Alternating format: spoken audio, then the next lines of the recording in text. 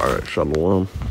I want to give all praises, honor, and glory to Yahweh Bashem Yahawashi, Bashem Rawqa Quadash. I want to give double honors to the apostles and elders of Great Millstone because those are the men that I learned this truth from through the spirit and power of Yahweh Bashem Yahawashi. Yahweh is the true name of the God of Israel. Yahawashi is who the world ignorantly calls Jesus Christ, but his one and only true name is Yahawashi. And um, pretty much I woke up you know, out the blue pretty much. And um something that's been in my mind for like the past couple of weeks is um household salvation. You know, because majority, you know, brothers in the truth, you know, they have um kids.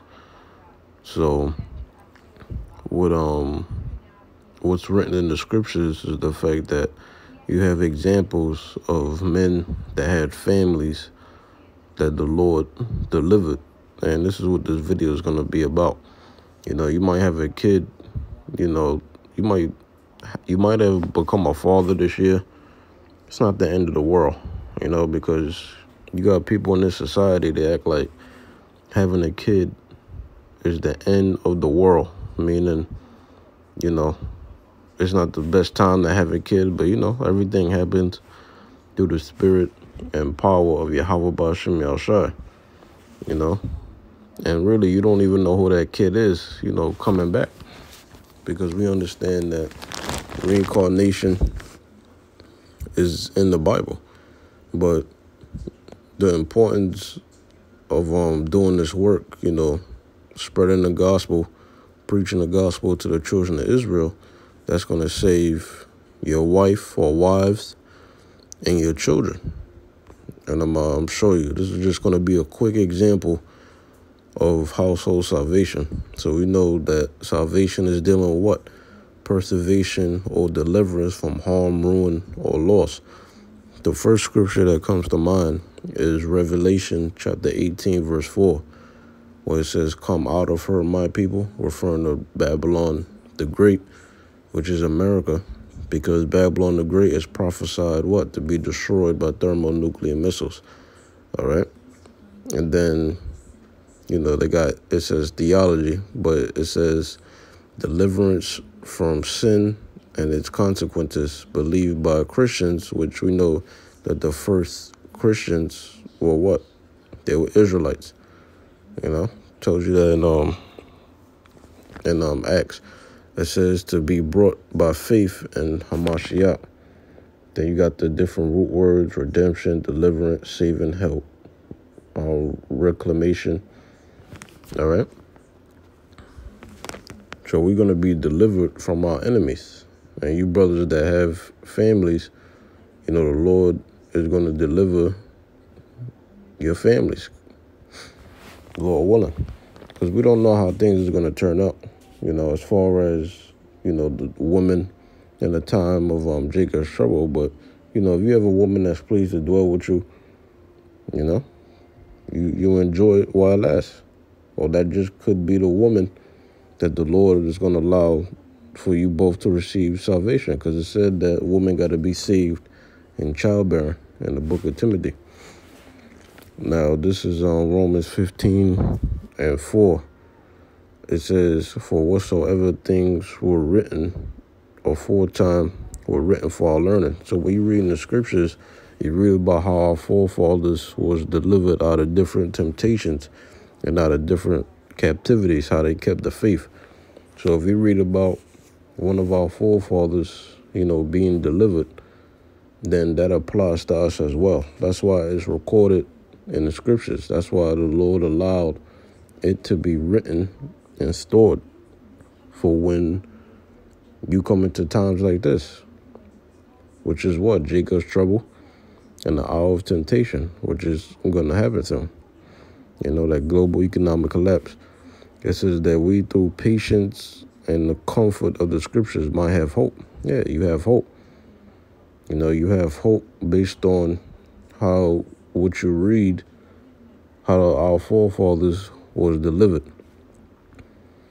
how the children of Israel, you know, how they was waxing exceedingly great. You know, they was uh, multiplying a lot in Egypt, but they was still delivered you know? Now check this out. This is Acts 16 to 30. It says, and brought them out and said, Sirs, what must I do to be saved? Right? So when you read Proverbs 8 and 4, and you read, you know, Luke 14 and 23, you know, scripture say what? My voice is to the sons of men, roughly paraphrasing Proverbs 8 and 4. And then the Lord, Yahweh said what? He said to go out on the highways and byways and bid them, you know, to the marriage. Right? That's what the men of the nation of Israel have to do. Now, what must I do to be saved? Verse 31, it says, And they said, Believe on the Lord Yahweh Mashiach, and thou shalt be saved, and thy house. And that's the key thing. That's the importance of being serious in His truth. You know, especially if you have, you know, family, sons, daughters, or a son and a daughter. You know, you got a, a wife that you love or wives whatever your situation is, it's important that, you know, you follow, you know, the order. You know, whatever order comes out and you follow the examples of the men of the Lord, you know, which in this lifetime is the apostles of Great Millstone on down. All right. So I'm going to read it again. So it says, And they said, Believe on the Lord Yahweh Mashiach, and thou shalt be saved and thy house. So that's that's important because if you sincerely, truly believe on Yahawashi, what are you gonna do? You're gonna preach this word, man. You're gonna wake up the so-called Negroes, Hispanics, and Native American Indians, which are the children of Israel, through the spirit and power of Yahweh Bashim Shai, to the best of your ability. Verse 32, and they spake unto him the word of the Lord and to all that were in his house. Let me see. It was something else I was um I was looking for. But that's pretty much it with that. All right. Now, this is 2 Corinthians 4 and 13. It says, We having the same spirit of faith, according as it is written, I believed, therefore have I spoken. So if you believe, you're going to speak, you're going to spread the gospel as a man from the nation of Israel.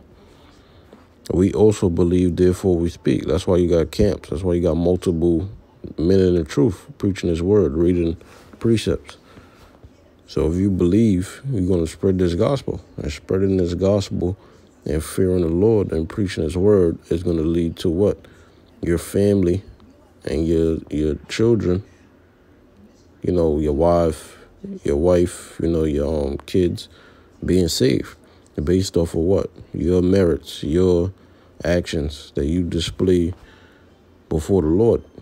Because to repent is a is a, a action. You got to prove to the Lord that you repent. Here's some more quick examples.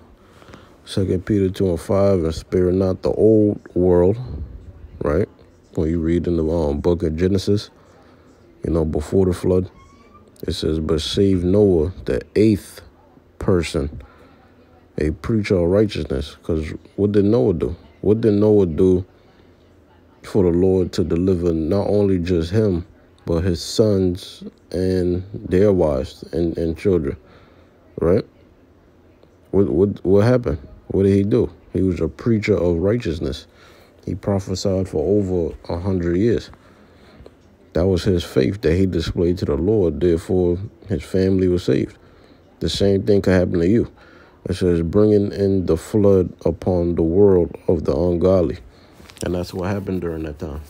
Noah was trying to warn, you know, the um, sons of the power and just really the world, you know, to turn from your wickedness and they didn't do that, so they they drowned.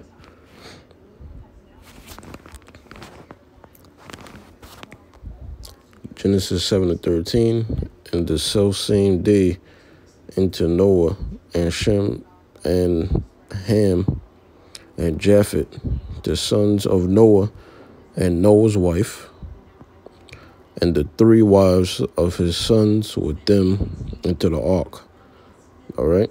So these examples is written in the scriptures that through patience and faith, you know, you have hope. So it's important, you know, to do your videos, you know, to follow the apostles of Great Millstone because that's what the Lord raised up in these last days. And that's the example you got to follow if you want to be saved. All right. So the guideline is the scriptures is, is right there. All right. So for being a preacher of righteousness, glorifying the Lord, spreading the correct gospel, your family could be saved, which involves your wives and your sons, you know, your daughters. All right. So it's important. Shalom.